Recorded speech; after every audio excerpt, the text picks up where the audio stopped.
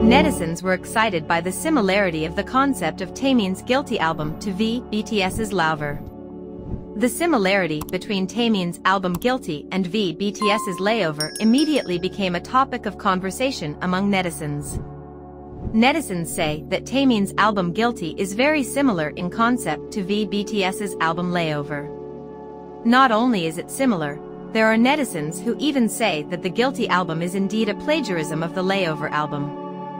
On October 22, SHINee's official Twitter posted the entire concept of Taemin's Guilty album. In the concept of the album Guilty, netizens found a photo of the box where the album Layover also has a box as an album container. Not only that, netizens also found that the concept photo for the Guilty album was similar to the concept photo for VBTS's Layover album. Guilty has a relaxed photo concept with one of the photos on the water surface.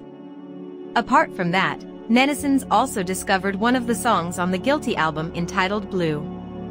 Where on the album Layover, belonging to VBTS, there is also a song entitled Blue. Taemin fans explained that the concept of albums in boxes was not started by VBTS. But it's been around since Zico's album Random Box.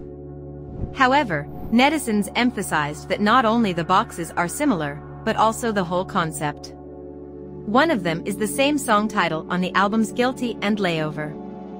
Below are some comments from netizens after discovering the similarities between Taemin's Guilty album and BTS's Layover V. This is not a problem with the album box slash cover, but the concept is exactly the same, the only difference is that there is no Yeontan. Observe, copy, modify. Just less dogs, so there's more totality hahaha. It's 100% copycat.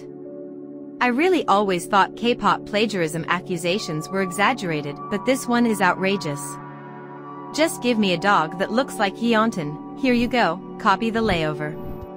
It gets even funnier when you realize Min Heejin is basically in charge of everything related to this album like SM Entertainment has no shame. It's not about the box contents, but the concept. The concept of the Hybe group was on SM's mood board. No originality, stealing ideas, and nonsense. So what do you think? Write it in the comments column.